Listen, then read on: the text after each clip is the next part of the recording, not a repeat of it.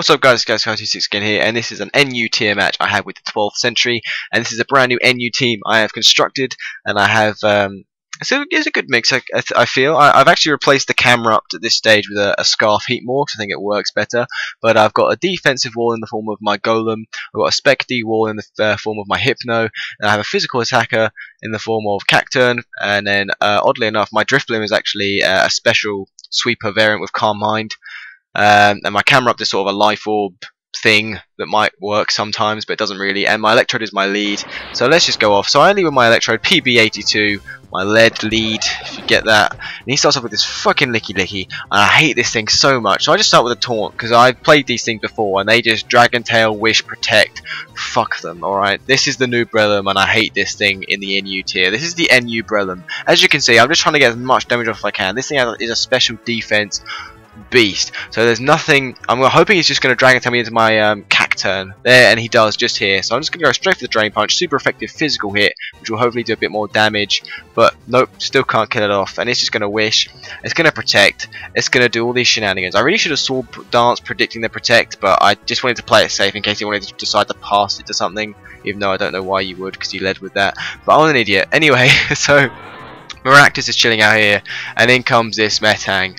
So uh, I'm just going go for the Drain Punch, and it's not going to do anything because all Metangs are defensive because they carry the Eviolite because that's just what Metangs are. So I'm just going to set up a Sword Dance on his Metang because it really can't do much to me because its attack is going to be minimal and there you go. So it goes for the meteor mash. It doesn't do that much and I can be getting my health back with a drain punch. And there's a nice tasty critical hit which really helped me out.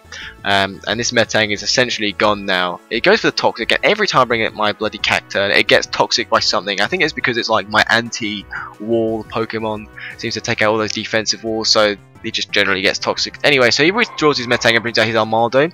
Now, I'm expecting a defensive Armaldo because that's the set I run, but obviously it's probably not a popular set because most Armaldos I meet are actually offensive. Anyway, so he's just going to go straight for the Scissor. And um, this thing's quick because it outspeeds my Cacturne. I think my Cacturne might just be slow, but damn, I thought Armaldo was slower. Anyway, so he takes out my Maractus with the times 4 super effective X Scissor, and uh, Cacturne's down. So I'm going to bring in my Electrode here. Uh, and I'm just going to um, predict the switch and go for a Volt Switch. Um, which is nice because he brings in the freaking Lickilicky. and uh, what I really should have done is um, instead of Volt Switching is actually predicted the Lickilicky. Well, not that you could even predict that switch, but if I had taunted there, it would have made my life so much easier. But I didn't get the taunt off there, so I'm actually stuck in with my Warmogs. Warmogs is another special attack. He's actually got quite a bit of investment into attack, so um, he's a bit of an odd wall because you can also deal damage as well. So I'm just going to speed this bit up because fuck this thing. And it's just going to wish, heal, and take life back. And this guy knows how to use it because he doesn't protect on my Earthquake because he knows he'll live one. At the moment, I'm just fit, um, fish critting. Crit fishing, that's all I can do. Because if I switch, he's just going to Dragon Tail me. There is, I could switch into my um, Hypno and possibly get the Toxic off. Or um, but Warmog is really my best poke to take out now that my uh, Cacturne is down. He's just going to Dragon Tail me out anyway, so there's no point switching. I'm just going to have to hope and pray and deal as much damage as I can to this thing. Um, man, I should really bring like a massive check to this because it's so prevalent and I hate it.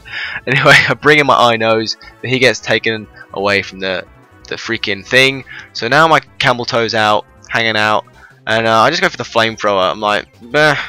I have overheat on this thing. Um, but I'm thinking maybe, maybe if I just flamethrower it, you know, I want the reliability. I don't want to get stuck out with minus two attack.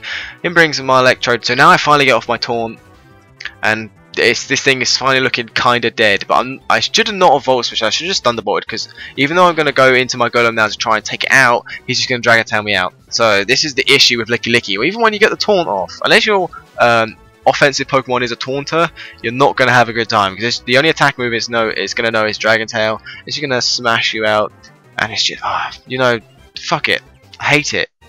This thing's bollocks. Ah, this is why this battle. This battle was like 20, maybe longer minutes, and it's and I've actually sped this up by twice the speed. Like all the stalling parts like this, they're twice as fast as what they happened in. Hence why the music's going absolutely crazy now.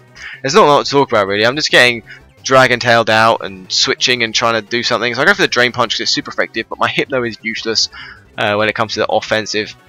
I might start running some attack EVs in it because I'm thinking that drain Punch might actually be quite useful. If I run less HP and more uh, attack, might, might do so. So anyway, I finally get the Toxic off. And I'm like, yes, this thing might die sometime today. And then the real kicker is revealed. This thing, this fucking thing has a heal bell. That was it. That was it right there. I was so excited. At 8% now, I'm like, yes, the Toxic will do it. Nope, heal bell. So I'm going to put the pressure now because he's going to have to decide whether he's going to wish, protect, or heal bell. So I'm just going to keep smashing him in the face. He's going to Dragon Tail me out. That's fine because in comes my Electrode. Now, now he's fucked because I can taunt him, and this Toxic is going to start racking up. So he knows that, and he's going to switch out. So predicting that, I'm going to go for the Volt Switch on this Furret and get a massive critical hit because I fucking deserve one. anyway, and I'm going to bring in my um, just to resist it because it's clearly going to be a physical attacker of some kind.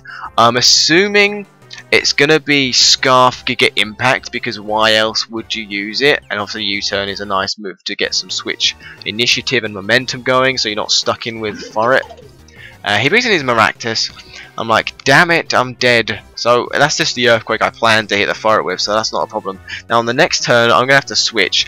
And I switch into my um, Camerupt, forgetting it's park ground, thinking I'm going to resist this really well and probably be able to get off a move next turn.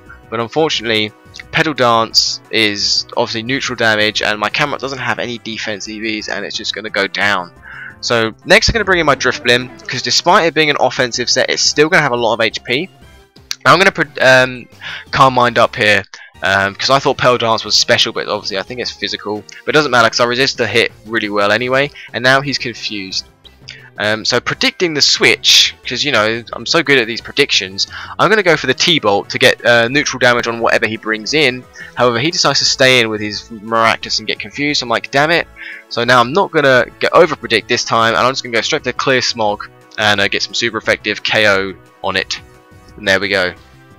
So that wasn't too bad. I, I did get the confused hacks and the power hacks, which kind of helped, I guess.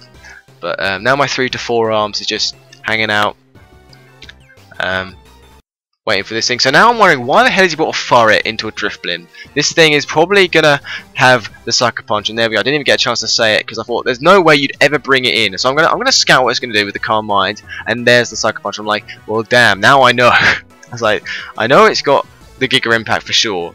I uh, know it's got the U-turn, because he's obviously scarfed into Sucker Punch. Now, if that was me, I would have stayed in and Sucker Punched again, because the other person would predict a switch. So I'm going to play it safe and do what I would do against myself, and calm mind to make sure I don't screw myself over. And now he brings in this Simipour, which is fine. I, I know I'm going to survive at least one hit with all my Spec D increases, and he actually goes for the Nasty Plot. He already knows I've got the Thunderbolt, so that was kind of a maybe a misclick on his play, but anyway, so I take out the Simipour with a crit. Did it matter? That might be why he's in, because he thought he could live one Thunderbolt. But I could definitely have lived whatever he's thrown at me, so who knows. Anyway, in comes the Furret again, so Sucker Punch is not going to happen, so I'm just going to calm mind. But wait a second, he tricks me. Fucking trick choice scarf Furret is a thing apparently I didn't know about. So now I'm locked into calm mind, which is great. Uh, so I'm going to have to switch now. Uh, and he's going to get his lefties recovery. So he can go for a U-turn if he wanted to, but obviously he decided not to. I don't know why. I would have just U-turned because I'm forced to switch. I'm not going to stay in, am I? Anyway, so he brings in his Armaldo. I'm going to bring in my Warmogs because I resist his dual stab and all that shenanigans. Um, and I'm just going to go for last Stone or do I go for Earthquake? I'll go for Sucker Punch. Um, why? I'm not sure. Should have gone for Earthquake there, but never mind.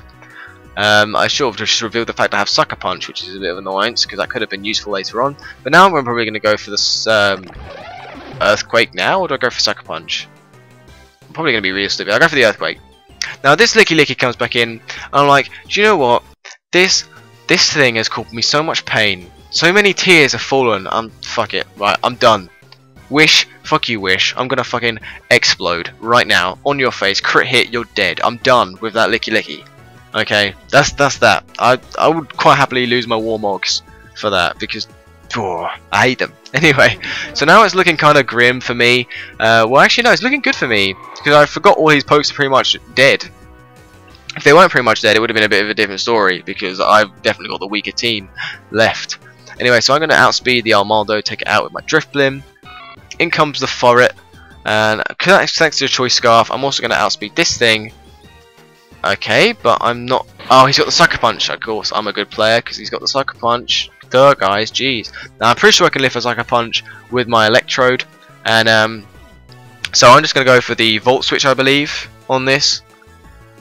Yeah, I knew I could, well, it was a bit risky, I guess, because I've only got 4% health left, but I thought I could live a sucker punch.